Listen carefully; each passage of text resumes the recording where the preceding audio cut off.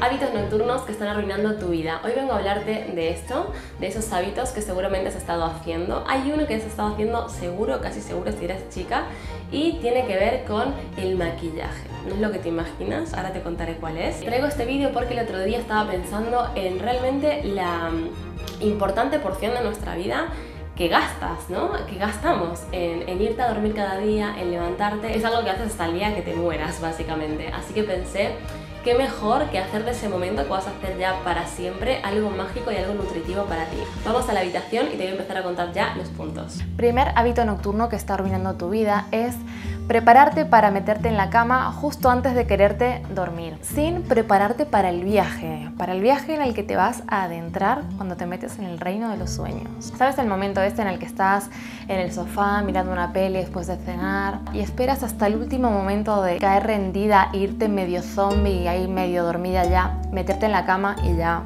olvidarte de todo? Si tú eres de estas, como era yo antes, que te vas directamente a meterte en la cama cuando ya estás agotada, que no puedes más. En lugar de eso lo que vas a hacer es prepararte tu propio ritual, tu propio momento. Al igual que te pones la alarma para levantarte, si tú sabes que te vas a ir a dormir a una determinada hora o deberías meterte en la cama a una determinada hora, vas a pensar en el tiempo que necesitas para prepararte para hacerte ese ritual para ir a la cama, bien sea hacerte una rutina de noche, algo, un baño, darte un baño, ponerte alguna crema, lo que sea. Vas a pensar el tiempo que te tomaría hacer eso, por ejemplo, me voy a dormir a las 11 y necesito, eh, yo que sé, 40 minutos para hacerme mi mini ritual antes de dormir, irme a dormir con, con buena vibra, relajada y demás. Entonces me pongo la alarma 40 minutos antes para obligarme a tener ese momento. Al igual que te pones la alarma por la mañana, póntela por la noche para preparar ese tiempo para irte a dormir, al igual que te lo pones, como te digo, para empezar tu día.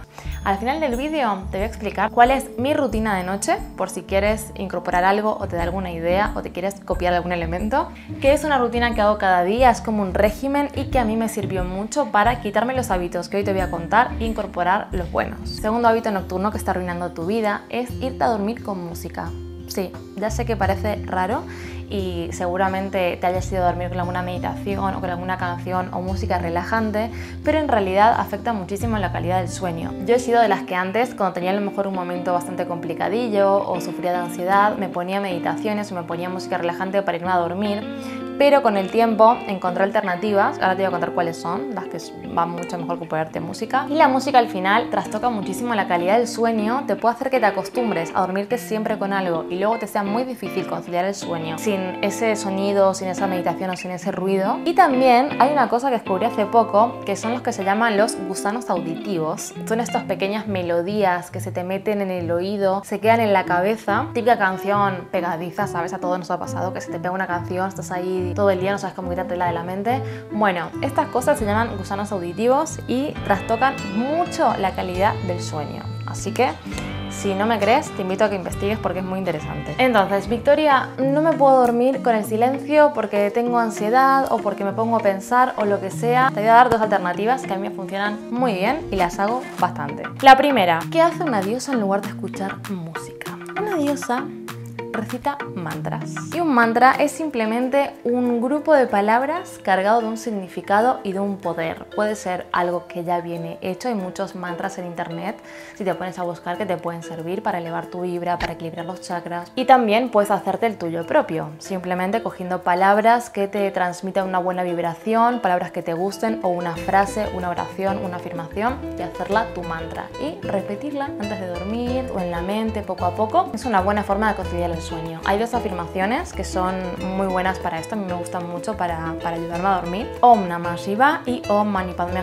que ya las he comentado en otros vídeos míos también. Segunda cosa que puedes hacer para no ponerte música, aparte de recitar mantras. Esta es un poco más diferente, pero también funciona muy bien y es hacer sonar en tu cama, en tu espacio sagrado de sueño, una campana un gong, si tienes un gong ya sería guay, o un cuenco tibetano. Es como que mm, es crear un anclaje en tu espacio de sueño y que te va a dar mucha tranquilidad. Aparte el sonido del gong, del cuenco tibetano, incluso de las campanas, estas también se utilizan en monasterios y meditaciones. Es una forma de purificar y de limpiar, digamos, el ambiente. Piensa que el sonido va a vibrar por tu habitación, se lleva las malas energías, las malas vibras y luego también descansas muchísimo mejor. Tercer hábito nocturno que está arruinando tu vida, pasarte demasiado tiempo en línea en redes sociales, ya sea WhatsApp, Instagram, Facebook, la red social que utilices. Te voy a explicar por qué y te voy a dar una alternativa muy, muy, muy increíble. Bien.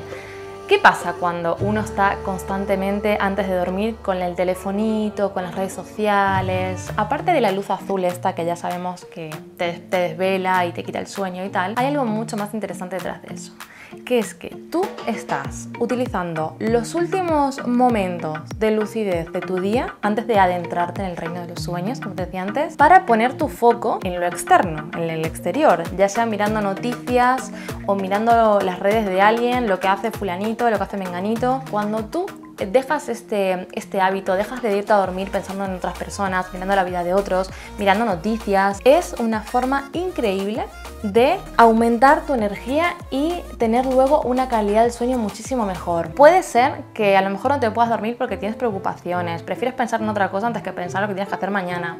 No pasa nada, si te pasa esto, hay una alternativa que te voy a dar antes de mirar el teléfono, que es contemplación de yantras. Yantras son símbolos que te ayudan en el equilibrio de la mente y del espíritu. No sé si habéis oído hablar de la geometría sagrada, pero son figuras geométricas que están muy cargadas de poder ilimitado. Yantras se utiliza además en la meditación muchísimo. Es como un mecanismo, como una máquina, y se utilizan a veces como amuletos o talismanes y son para elevar la concentración, la calma, elevar el nivel de conciencia. Se dice que funcionan muy bien con la mente por eh, las formas geométricas justamente que tiene y hacia dónde van tus ojos. Entonces te buscas un yantra de internet, el que más te llame la atención. Cada uno tiene pues un determinado tipo de simbolismo y de poder. Te dejar en la cajita de información una página donde te explica de manera muy fácil eh, cuáles son los más utilizados. Te enseño aquí el Sri Yanta, es el que yo tengo impreso, que llevo casi siempre en la cartera o en mi bolso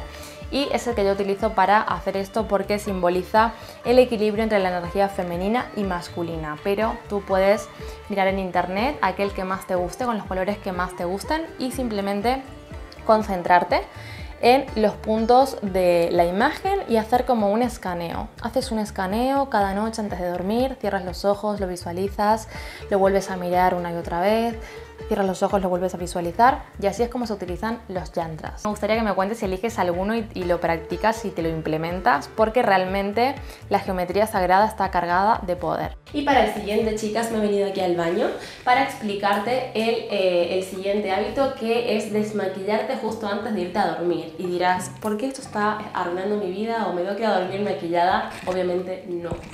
El tema es que nunca hay que desmaquillarse justamente antes de meterte en la cama. Conecta con el primer punto que te explicaba de prepararte ¿no? para el viaje, para irte a dormir. Entonces, si tú te dejas el maquillaje puesto hasta última hora antes de irte a dormir, es una forma, inconscientemente, de comunicarte una poca importancia personal. Porque como hacemos lo pequeño, realmente es como luego hacemos lo grande en nuestra vida. Entonces, no te dejes para el final. El tip que yo te voy a dar ahora es que te desmaquilles si es que utilizas maquillaje o te haces una limpieza o lo que sea. No esperes a meterte en la cama para ponerte cómoda, para sacarte maquillaje, para ponerte una ropa, yo qué sé, con la que estés a gusto por tu casa. Apenas puedas, apenas vuelvas de trabajar o de una reunión o de lo que hagas, y puedas estar en tu casa, no tengas que requerir el maquillaje si es que lo requieres para algo, para tu trabajo, para lo que sea, te invito a que no sea algo que dejes para lo último antes de irte a dormir. Yo eh, lo que hago es cuando vuelvo a casa por la tarde noche o así, o incluso algún día que me maquillo por casa y que no salgo porque grabo aquí o lo que sea, cuando acabo todos mis quehaceres, me vengo aquí al baño, no espero irme a dormir y me desmaquillo. Te voy a dar como consejo que la rutina de desmaquillarte no sea la misma que sea antes de irte a dormir el ritual, porque si no se hace muy largo y te da pereza y dices, bueno, pues ya lo dejo para el final. Entonces, para que no te pase eso, que tu rutina de desmaquillarte sea eh, lo más minimalista posible, o sea, algún aceite o algún producto para desmaquillarte y eh, limpiarte un poquito la cara y tampoco que estés ahí cuatro horas porque si no es que no lo vas a hacer, lo vas a juntar con lo del final. Rutina lo más minimalista posible y y ya está, y no te dejes para el final. Yo lo que hago es me vengo al baño, en cuanto vuelvo me pongo esto para que no se me manche el pelo. Entonces, me pongo este cacharrito me pongo este cacharro para que no se me moje el pelo porque mi pelo me da mucho trabajo, tengo mucho pelo y cada día arreglármelo y todo es un perezón. Entonces me pongo esto y tranquilamente, a ver que pierdo las cosas, entonces me pongo este cacharrito, me cojo mi algodoncito, me pongo unas gotitas de aceite y un producto natural con el que me quito el maquillaje, me lavo un poquito la cara y ya está. Y luego ya por la noche, antes de irme a dormir, pues me hago el masaje facial, con lo que luego os voy a enseñar al final del vídeo, con lo que utilizo un poco, ¿no? Me hago mi rutina y todo, pero ahora no, ahora mínimo viable, mm, lo más minimalista posible, me saco lo que tenga, así que bueno, eso, no te dejes para lo último, esto me lo quito para seguir con el vídeo y seguimos a la habitación. Siguiente hábito que está arruinando tu noche, tu día, tu vida, todo. Hacer tu cama, tu espacio donde duermes, demasiado fluffy. Fluffy significa demasiado... Mm, demasiado cómodo. Yo era la típica que antes, cuando vivía sola, tenía en mi cama 400.000 cojines y cuantos más mejor. Y cuanto más llenas tu habitación de elementos, al final te va a dar más pereza levantarte, aunque parezca una, una chorrada, es así, te da más pereza levantarte y vas a tender más durante el día a ir a la cama. Entonces, cuando por ejemplo estuve haciendo algún voluntariado en lugares así un poco extremos o en monasterios donde los, los monjes viven ahí en condiciones básicas, una de las cosas que te enseñan es que para tú levantarte y quitar de tu vida la procrastinación y la pereza, duermes en lugares lo más simples posibles. A ver, tampoco vas a dormir en el suelo o en un o en una, manta, ¿no? Si tienes una cama, pues muchísimo mejor.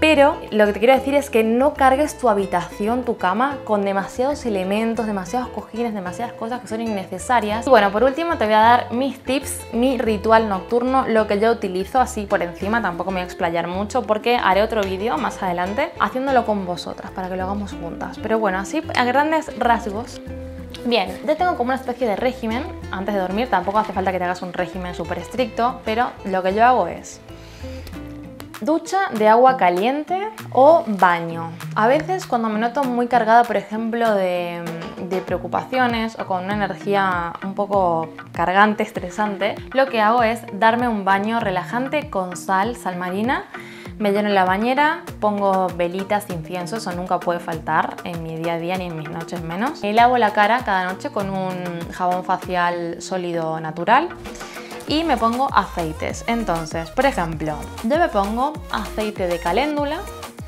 que calma mucho la piel, y me pongo en las pestañas cada noche antes de dormir aceite de ricino. Esto ya lo hago hace como, no sé, 5 o 6 años que me pongo aceite de ricino el aceite de ricino es muy bueno para las pestañas, entonces me hago un masaje en las pestañas y me las pongo porque me gustan bien largas.